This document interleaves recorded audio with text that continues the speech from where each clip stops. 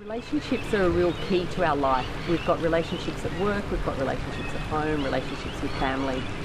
We're always going to be in relationships.